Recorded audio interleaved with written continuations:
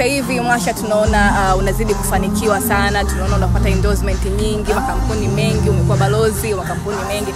Siri ni nini? kwa sababu unafanya kazi za watu vizuri, sifanyi ubabaifu, na kweli wao wenyewe wafanyabiashara wanaona impact yeah.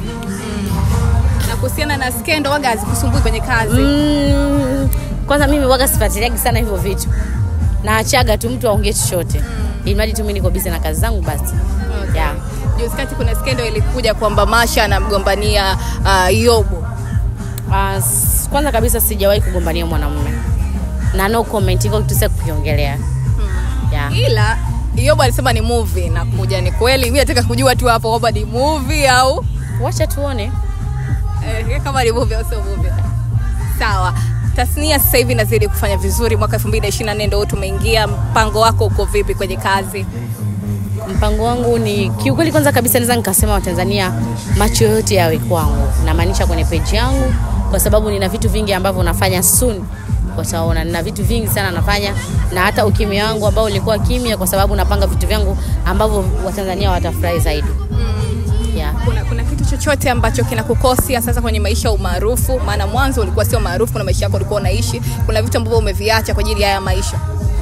Ya kiukweli vina kosti kwa sababu mimi ni mtu ambaye nishazoea na zurura tu, ni mtu ambaye nataka kuishi na kila mtu, kila mtu nataka kuwa naye kwenye maisha yangu, kwa sababu mimi ni mtu wa watu toka ni zamani, kabla sijakuwa Masha. Kwa hiyo utakuta muda mwingine nataka niende kwa Mwajuma nikapiga story na shindwa, utakuta tena umekaa watu wanataka kuja, huyu anataka tupige picha, huyo makelele, kwa mambo yanakuwa mengi. Hivi Masha, wewe sio mtu wa kukunja? Mimi sinaga hizo picha, sinaga hizo mambo, Hujai kumkunjia mtu? sijawahi Ila kabla hujatoka kuna ambao wamekukunjia. Eh, wapo lakini pia wenye mpaka wanakuja wanaomba picha kupija na mimi sio mboya. Nakumbuka Lulu Rifa aliniambia pambana mpaka adui yako aje kuomba kupiga picha na wewe siku. Yeah. Okay. Wakati ukiwa mdogo ni muda gani ambao uko unaruhusiwa kurudi nyumbani? Yaani ukacheza unakocheza lakini saa fulani uwe nyumbani. Au unakumbuka hiyo mambo?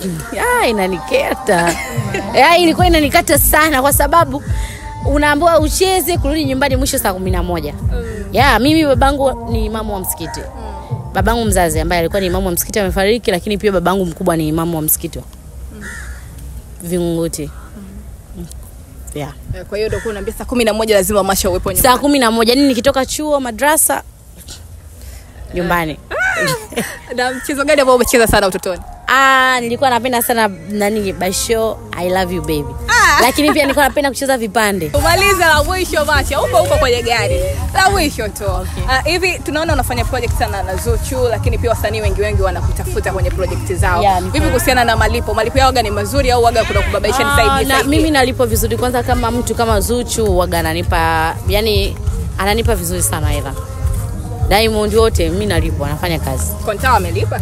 ya konta amelipa, kwani asilipu we tena ule mimi amenilipa Okay. ah shida Asante sana. sasa mimi mwenyewe sikibati Ah. Asante.